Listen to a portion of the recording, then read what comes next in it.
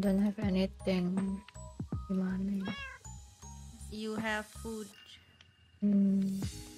I have you. Asik. Eh, Kita dikemanain?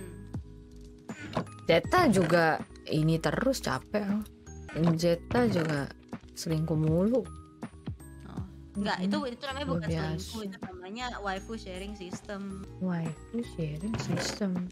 Kalau waifu sharing system berarti waifunya dia waifunya aku juga gak? Iya, iya, kayaknya. Oke. Okay.